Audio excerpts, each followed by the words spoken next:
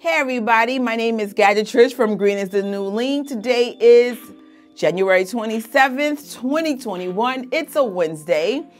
And I just wanted to give you an update about my quarantine weight gain and just how I'm doing in my journey and what are we doing moving forward.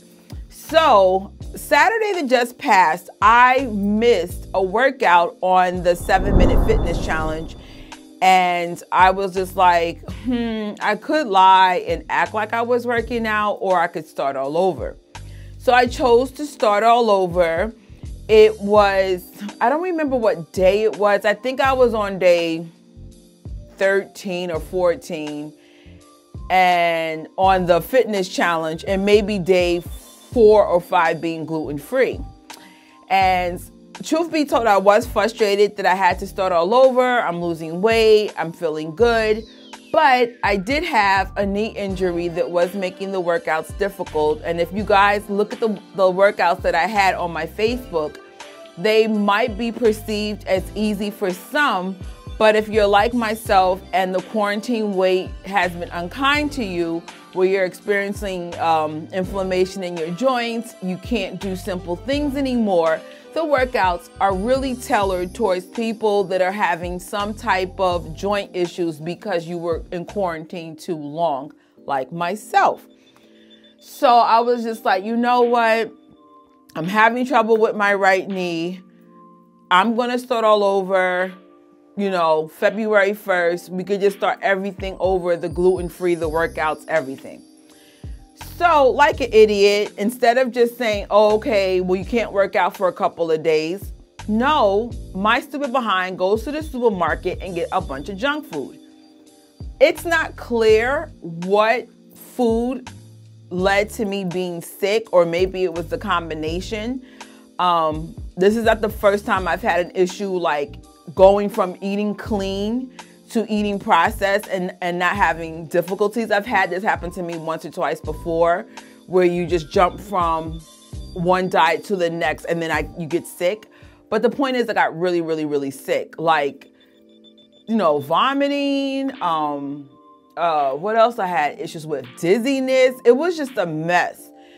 So for about a day and a half, I just laid down, I did ginger shots, I um I rested. I like on Monday I rested for like almost 20 hours. Like I just I just slept.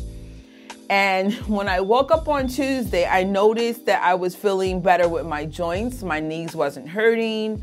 Um, I came up with a ginger shot recipe that I will share with you guys on the next post. Um, but I just had a moment to reset everything. And then it dawns on me even when you make mistakes, there's lessons to be learned in those mistakes. Like in my case, I learned that I needed, I really needed to rest. I have two channels. Uh, Green is the New Lean is the one you're watching now, but I also have another channel called Gadget Trish. I have a freelance job, and of course, I have a family. And I just never had when I started the challenge, just nothing was ready. I was just like, I'm just gonna do it. I need this quarantine weight off. I can't stand it. I can't get in my clothes anymore. Nothing was ready at any level. And I was like legitly stressed out. So, with that being said, hi, we're starting the challenge over February 1st, which falls on a Monday. Um, I will definitely be posting to you guys a lot more. You know, I apologize for not getting updates to you guys sooner. I'm still trying to figure out balancing all these things out. You know, when I was doing YouTube last year, I, you know, it was a little bit easier because I worked less or not at all. Uh, but now, you know, life is kind of like back to normal, which is frantic and annoying.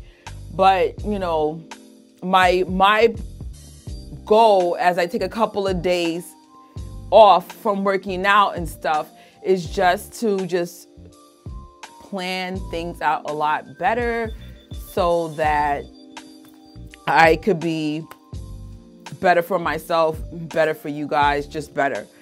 All right, guys, so that's my update. Please make sure you check out my separate post on the ginger shot. how I made it. The ginger shot will be incorporated probably for the all 100 days, uh, mainly because I do have inflammation like, wow, like really bad. I will also leave in the description bar the benef um, benefits of ginger for inflammation and arthritis and stuff. I'm not a doctor, I'm not even an expert, but I do try to find holistic ways to try to heal myself. So this might be helpful to you. And also remember, I don't have any medications I'm taking, so um, there are no conflicts, but make sure that this is not a conflict with your lifestyle just in case you're on medication. So, all right, guys, I have to go. I have a lot going on today, including going to the supermarket to pick up some food, but I will see you guys very, very, very soon. And on that babbling note, Gadget Trish is out. Think vegan. Wow, I'm still a little dizzy. What, what, what did I eat? Bye.